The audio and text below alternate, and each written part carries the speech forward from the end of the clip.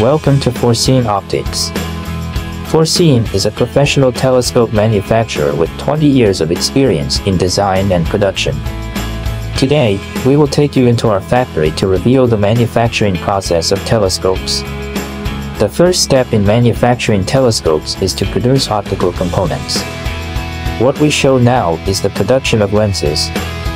By polishing and grinding the lenses, we produce high-precision lenses.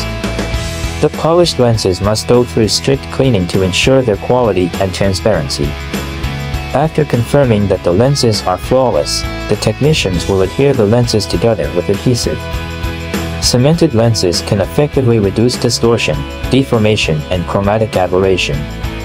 The second step is model making. Experienced craftsmen use injection molding machines to create perfect models, laying a solid foundation for each telescope.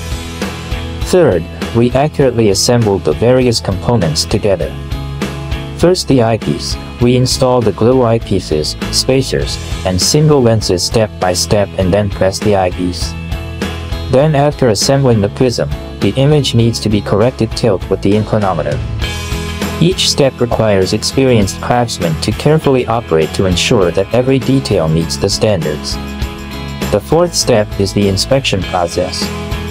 Quality inspection is an indispensable part of the manufacturing process.